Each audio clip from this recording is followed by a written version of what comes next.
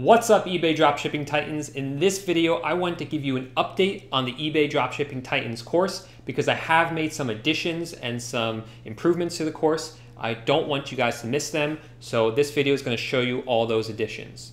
So for those of you who don't know, who are not members of eBay Dropshipping Titans, I've created a course that takes you step by step how to create an eBay dropshipping store and as well as some advanced modules to really increase your profit and to really increase your sales uh, this is everything I know, everything that took me from making $0 online to making over $15,000 a month using this exact method. So when I created the course, I promised you guys that there were still lectures to come, and I promised that as I learned more, I was going to add to the course. And that's what I've already done. So I wanted to show you exactly what I've added to the course. So here, if we look, uh, right away, I have made an update here called Update on Bed Bath & Beyond. Um, some things have changed. My perception of them or my opinion of them has changed. So I wanted to make sure that you guys got an update on that. So I put that right here so you guys can watch that.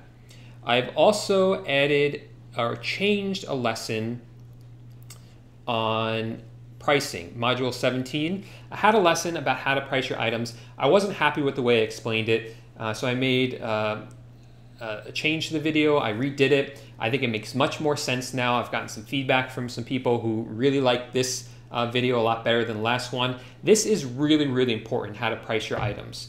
And if you don't get it right, you're not going to be successful on eBay. So it was really important that I got this guys uh, got this right for you guys. So uh, check it out if you haven't seen it, because like I said, it is of critical importance to do well on eBay. I have also added uh, some topics down here under advanced topics. Um, I talk about what to do when you get a large volume of sales, how to start handling that because it, it can become cumbersome, and also tricks for checking out on Home Depot and for Walmart because those those websites are a little glitchy. There's some problems with them, so I wanted to make sure that you guys knew exactly how to process your orders on those websites because it's a lot trickier than it looks when you're handling a large volume of items. But the thing I'm most excited to show you guys is a new set of lessons underneath. Um, well, first of all, under Module 11, I added two new lessons that take you from start to finish. How I find items to list and then list those items, fully optimized titles. So I show you how to do that through Home Depot and how to do that through Amazon. So both those lessons are under Module 11.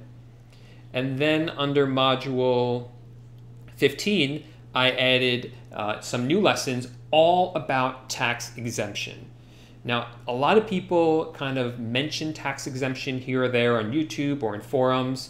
Um, they say it is possible to become tax exempt at Walmart or Home Depot, but a lot of people don't understand how it works. They don't get the concept of it. I break it down for you step by step. The first video is just the basics what it's about, what you're going to look for, and what you need to get started. There are some legal documents you need to fill out and create in order to get this rolling. And I show you exactly how to do that. Then I show you step by step how to go through Walmart's website and become tax exempt. And then I show you tax um, step by step how to do it on HomeDepot.com because no one else is really explaining exactly how to do this. So these are the lessons that I've added. If you guys are members of the course already, make sure not to miss these new lessons because I think they'll really help you out. If you're not members of the course yet, you can check out the course by clicking on the first link in the description below.